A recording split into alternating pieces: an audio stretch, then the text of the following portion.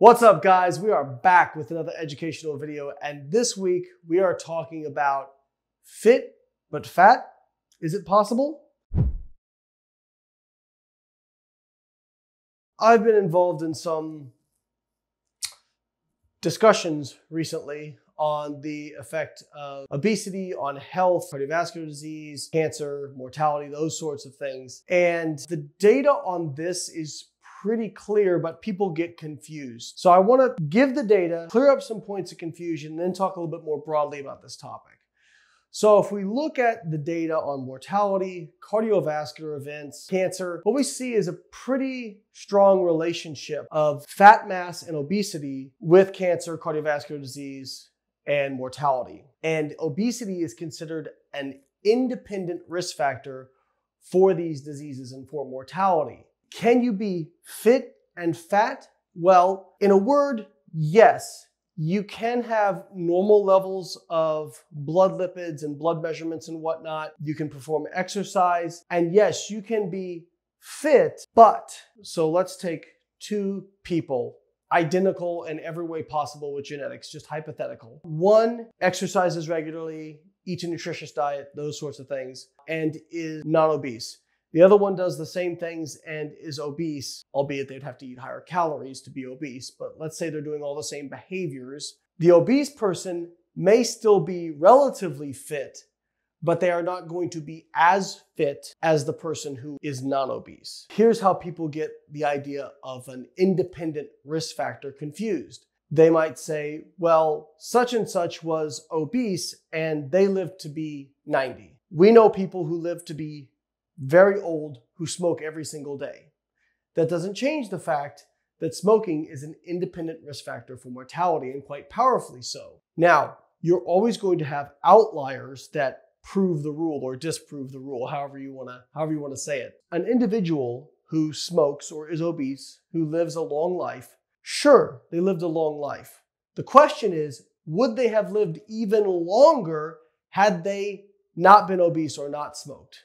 And all things being equal, the data we have says that it's likely that they would have lived longer without those independent risk factors. Again, you can find fit people who keel over of a heart attack at age 35. You can find obese people who live to be 90 years old. Neither of that disproves obesity as an independent risk factor for these diseases. Another thing a lot of people do is they will kind of bring up the fact that a lot of these studies uh, use BMI to determine obesity. Now, BMI is a measurement of basically your height versus your weight. People have criticized this because they say, well, that doesn't take lean mass into account, which is true. If you do the BMI on me, I'm considered obese.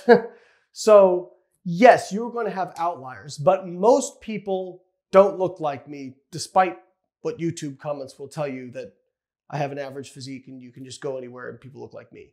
Cool body dysmorphia, bro. So for individuals, for select individuals, is BMI inaccurate? Yes. However, on a population level, BMI is largely going to capture differences in levels of fat mass. If we're going to DEXA or do calipers in order to determine obesity in these studies, we're going to have study numbers on the order of hundreds probably. The studies we have right now looking at obesity as an independent risk factor, and I'm linking one in the description, there was over 500,000 people. That's only going to be done with an easy measurement that can be self-reported by reporting height and weight. If you want really low numbers of subjects, we can do more invasive methods. But if you want really high subject number, you're going to need something like BMI, which is more accurate than just using straight body weight because you can have people who are, you know, 300 pounds who are, aren't obese because they're just tall. So these are all important things to keep in mind. Is BMI a perfect measurement? No. But people use this as a unicorn fallacy. A unicorn fallacy being if something isn't perfect, it must be useless. That's not true. BMI, still useful for overall population. Is it useful if you were going to do a study on athletes, for example? Of course not, because athletes tend to have more lean body mass compared to their fat mass. Now, a more recent study came out that was really interesting because it was looking at people who are obese who exercise versus people who are not obese who exercise. I had been of the opinion for a while that exercise is so powerful that I think even obese people, if they exercised regularly, could be healthy. And what the study did show is that people who are obese who exercise are definitely in much better shape than people who are obese and do not exercise. So, by all means, if you are overweight or obese, please exercise because it's going to help you get healthier even without losing any weight whatsoever. That is a great tool to improve your health. That being said, when they compare people straight up, obesity was still an independent risk factor for cardiovascular disease, mortality, those sorts of things.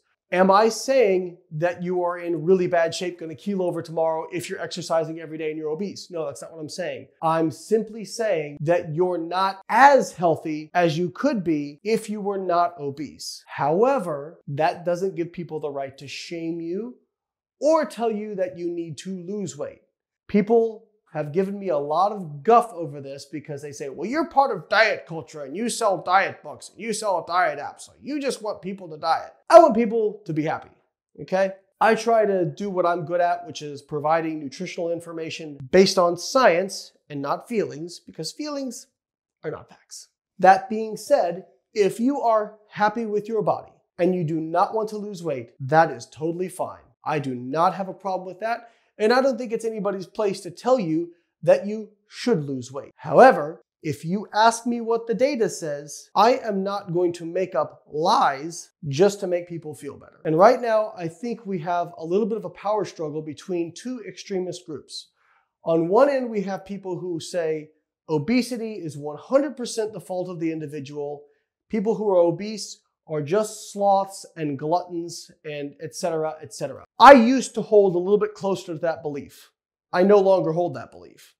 Uh, then on the other end of the spectrum we have people who say things like uh, diets do not work calorie deficits do not work people who are obese are born that way they cannot lose weight even if they tried. In fact i had a, a conversation with one insightful lady i believe her screen name was man hating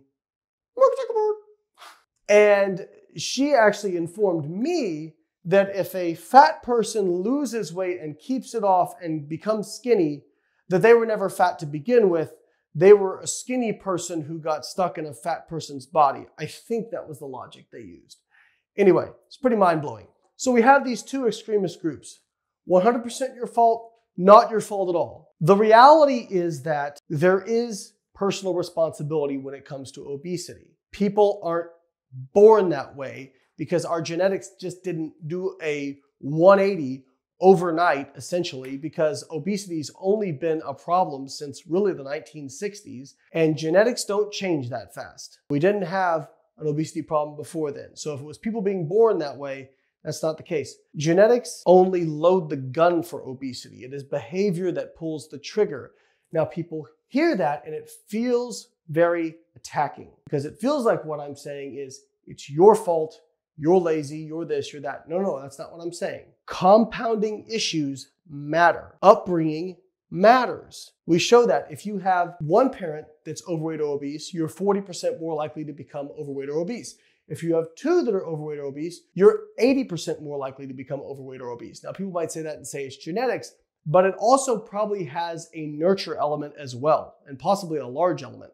So there's that to consider. There's also when you consider that obese people do not have the same hunger and pleasure response to food that lean people do. There's been MRI brain scans to show that obese people get much greater reward out of eating food than a lean person does on average. Okay, so there's that. And then if we look at, for example, there was a study in women that showed that out of 100 obese women, that were surveyed, over 60% of them had been victim of some sort of sexual assault. So trauma, upbringing, all that stuff matters.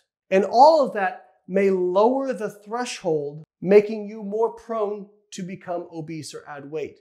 However, it still boils down to people who became overweight or obese did so because they ate more calories than they expended. Now, as we have discussed in detail on this channel, calories in, calories out is quite complicated, even though it sounds simple, it is complicated in execution.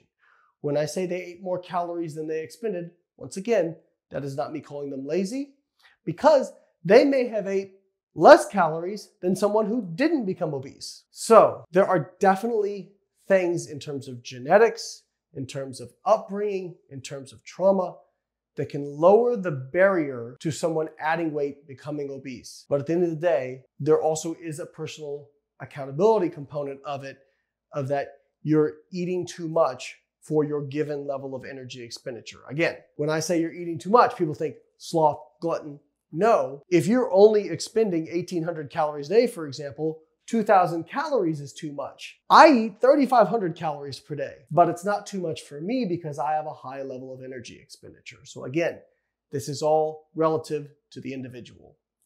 So you guys can check out the links to the studies I discussed in the description. I'm sure this video is going to get a lot of comments. So make sure you share it on social media so we can get the opinions of all the informed people on social media. I'm sure nobody will have strong opinions about this one. As always, guys, like and subscribe if you like the video and go check out some of my diet culture products that I offer. Links in the description. Hope you guys have a great week and I'll catch you next time.